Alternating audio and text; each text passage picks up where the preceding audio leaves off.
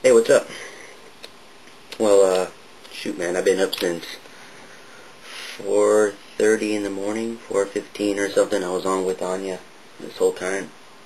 She just barely went to bed, so, but we got some painting to do. We got one done already. Sorry about that. Uh, we have one termagant that's set up. All the other ones are not done yet, so we're gonna get to work with them, putting the weapons on them and stuff, and painting them up and stuff. So, and then finally getting the wash on them. Now, in the pictures, I know it looks like they were washed, or he looked like he was washed.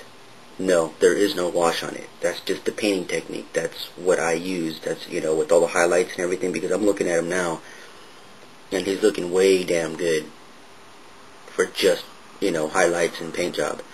So once we do the wash, it's really going to bring them to life. So we'll do that, and uh, and the other ones. So we're wasting time. Let's get to work.